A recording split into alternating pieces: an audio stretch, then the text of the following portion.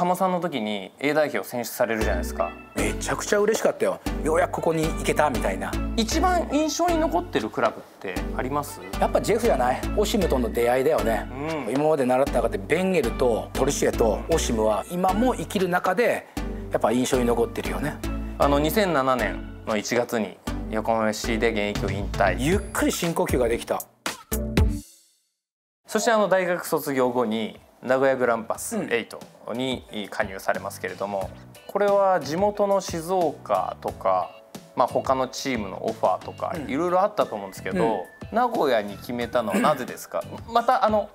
何チームぐらいからオファーあったんですか？えっとねそのプロからの話があったのは大学2年ぐらいからあったのも、うん、で3年なり4年なり増えていって僕が大学4年の時95年の時は、はい、多分ね14チームぐらいだったの、はい、J リーグのチームが。はい、うん、14チームあった中で半分以上は来たね。話が。はあ、78、78 9、うん、うわ、うん、でその中で、はい、本当に悩んだのがこうグランパスと清水だったの。地元の地元の、はい、もうそれ親はもちろん帰ってきて、エスパルスに入れと、一方で、まあ、さっき言ったやっぱりこう試合に出れる出れない、自信があるあないっていうところで言うと、やっぱ当時清水ねエスパルスって強かったし、自分がいて出れるかなと思ったの。うん、でまあもう一個グランパス悩んでた中でそれほどこう強くなかった低迷してた 時代だったから、まあ、行けばレギュラー取れるかなとかポジション取れるかなっていう部分とあと一番の決め手はやっぱストイコビッチだったね。ストイコビッチがグランパスに来たっていうものが多分大学3年の時かなえー、こんな選手来ちゃうの？って、うん、で90年のイタリアワールドカップ見てて、はい、でストイコビッチのプレー見た時なんだこの選手はってすごくインパクトがあって、うん、えなんで日本に来るの？っていうのが大学3年の時にあってグランパスに。で大学4年になってあの憧れの選手、うん、絶対一緒にやりたいよなと思って一番の決め手はそれだったね。うんプロに入ってから、もう1年目からリーグ戦26試合に出場して5得点されてもう大活躍されるんですけどプロとのレベルの差って感じました？いや最初はやっぱキャンプに行った時にやっぱりスピード感、あとフィジカル面はやっぱこう学生アマチュアとは違うなっていうふうには思った。でもやっぱやっていけばすごくこうなんとなくこうアジャストしていくというか、はい、慣れていくというか、はい、うん、そんな感じはあったよね。うん、ただレギュラーは取ってないから。あそうなんですか、うん、まあ、当時ベンゲルだったんだけど、はい。はい、サブだった。うん、ベンチには入ってたんだけど、はい、先発では何試合か出たんだけど、レギュラーではなかった。やっぱその前年でやっぱり天皇杯も取ってたし、すごくこう成績がベンゲルが来てその上がって、である程度こうチームができた状態の中から新人選手が次の年に入っていたんで、うん、ちなみにベンゲル監督ってどんな監督でした？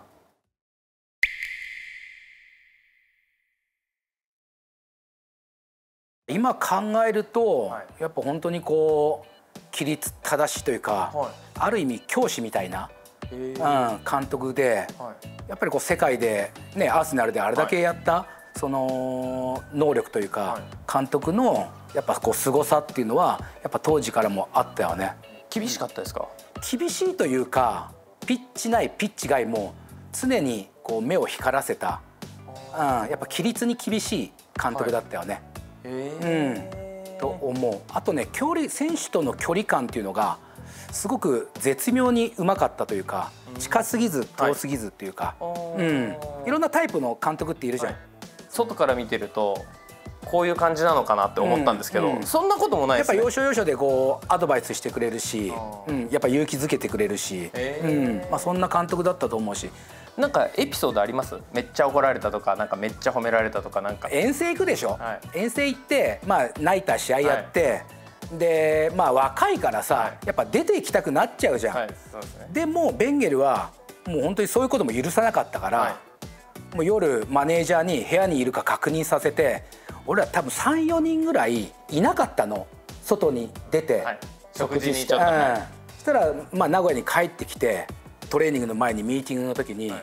まあ、名前言われて、はい、お前ら今度やったらもう絶対試合使わねえぞっていう感じでまあもちろん当然なんだけど、まあ、そういったところもしっかりこう目配りというか、うん、もうチームとしてグループとして、うん、常に行動するっていうものの、まあ、ピッチ外のところね、はい、うん、もうピッチ内ではもうもちろんそういういろんな細かい戦術的なところもうん厳しかったというか、規律を持ってプレーするっていうのをやっぱ選手に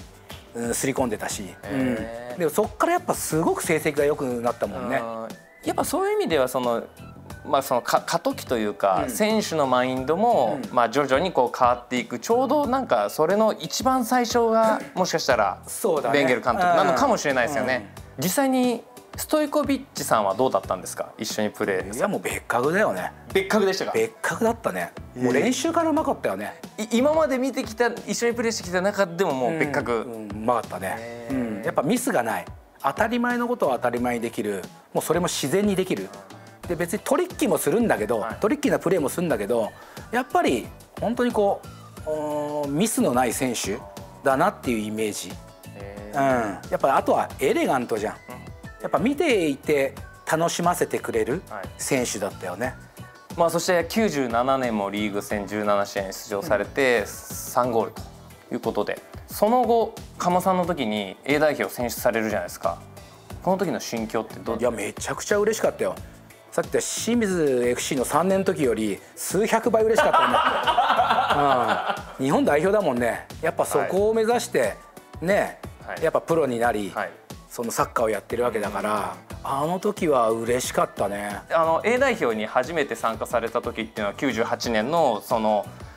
ワールドカップの予選ですよね、ね。うん、その時に初めて代表に参加されてどうでした？あの A 代表の選手たち。当時カズさんとかがバリバリでね、はい、やっててああテレビで見た見てた人だなっていう部分ともう一方では、まあ、奈々とか、まあ、先輩とか、はい、まあ、西田明とかもそうなんだけどなんか一緒にやってた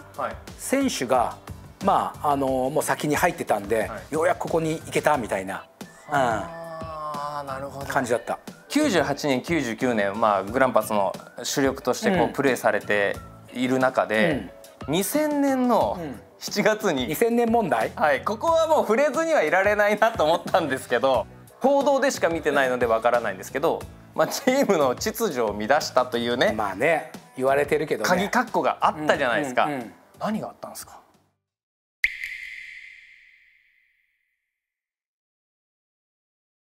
よくわからない。正直本当に、はい、何があったって一つの原因じゃなくて、はい。何だったのっていうのが正直なところで、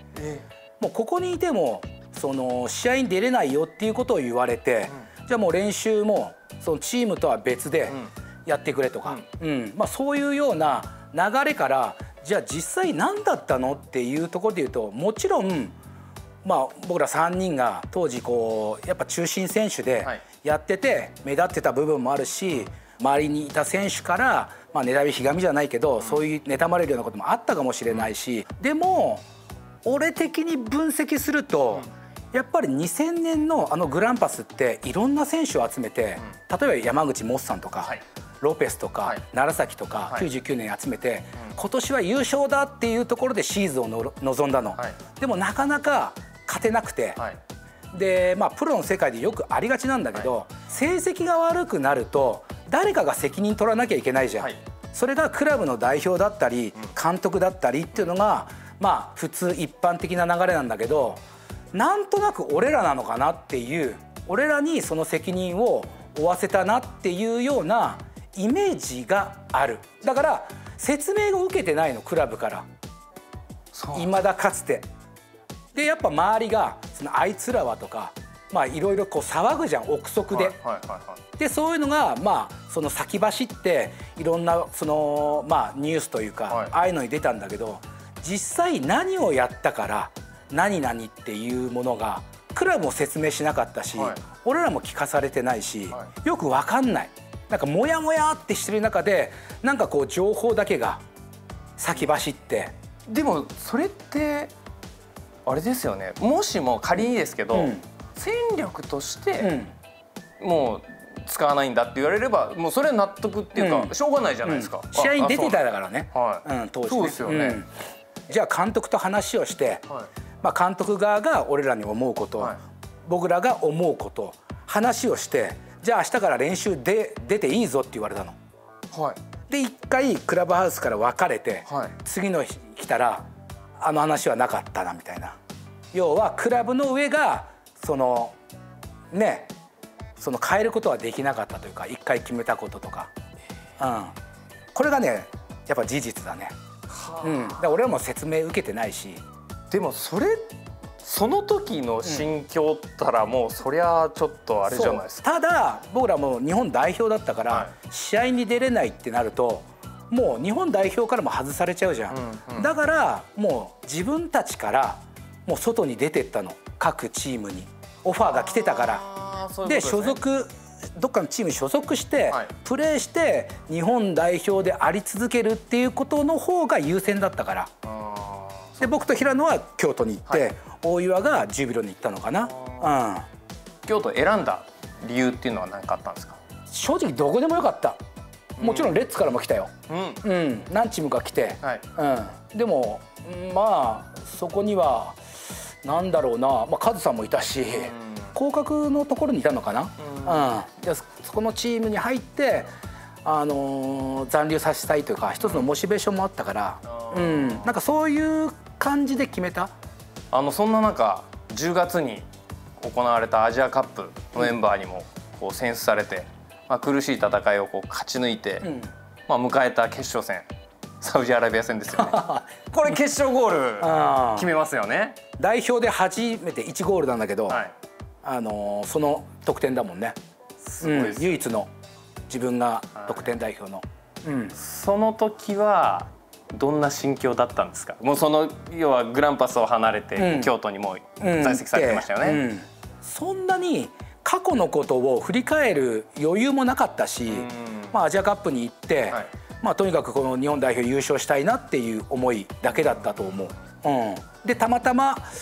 いなかな、はい、準決勝で累積になって、はい、で出れなくなって、はい、明神と、ね、僕がかぶってたんだけど明神がボランチ入って僕はそこにアウトサイドで入るようになって、うん、たまたまね自分のゴールで優勝することになったんだけど、うん、自分のゴールというよりはアジアのチャンピオンを取ったっていうのが本当に嬉しかったね。うん。でそれまでねやっぱフランスで代表合宿やったり、はい、結構準備期間を取って臨んでやったから、うん、ずっとみんなと一緒にいる、うん、生活してる感じでなんか一つのこうグループというか一体感があって、うん、勢いがあった。よねチームとして。うん。そしてあのその後に神戸に活躍の場を移すことになると思うんですけれどもヴィッセル神戸でも主力で活躍されていうん、いたとは思うんですけれどもまあ、2002年の日韓ワールドカップ、うん、メンバーからこう落選と、うん。うん、当時の心境いかがでしたか？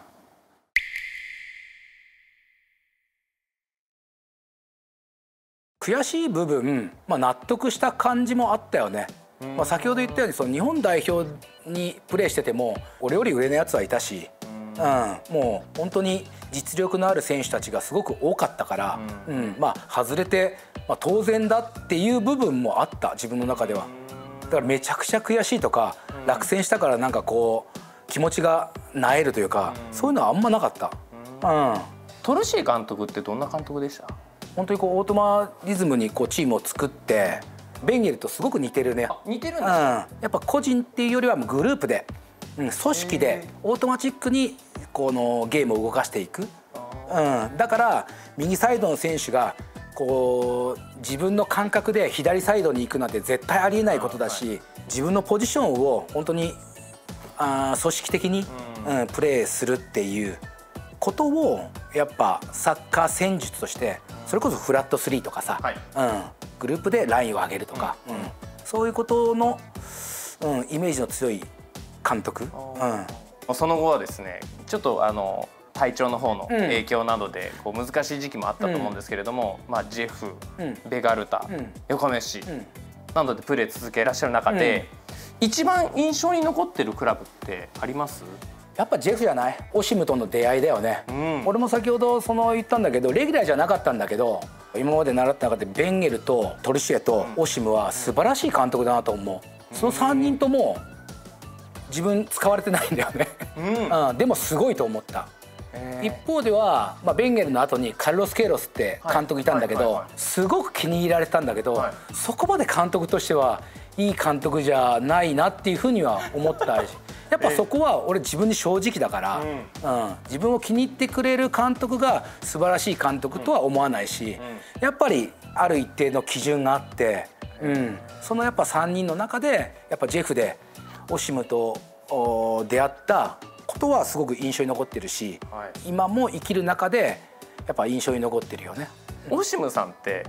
なんかこの2人と違うところとかってあったりします？あと印象に残ってるこう指導一つはねもちろん指導は素晴らしいんだけど、うん、2人の人と共通してないものはすごく人間性がある。人間っぽい。はいはいはい、はい、っていうのはグラウンドでは厳しいんだけど、はい、ピッチ離れると、まあ、スタッフとトランプやったりさお酒飲んでちょっと酔っ払ってたりさ、はいはい、ただそのベンゲルとかさなんかトルシエってピッチ離れてもなんかこう常にこう緊張感があるというか教師と生徒みたいな感じなんだけど、オシムさんだけはピッチ離れるとなんかおじさんみたいなさ、はい、人間っぽいなっていう、うん、やっぱ20代前半でこう出会いたかったなと思った。うん、もう30代超えてたから、はい、その時、はい、うん、ちょっと遅かった、うん、自分のプレーして彼から学ぶっていうの、うんでも彼のやっぱそのサッカーの対する考え方とか、トレーニングメニューとかこう意図しているものはプレーができなくてもやっぱ感じ取れるものってあるじゃん、はい、うん、そういうのは自分にとって財産だよね。うん、あの2007年の1月に横浜市で現役を引退されますけれども、うん、引退の決め手はやっぱりフィジカル的なことですか？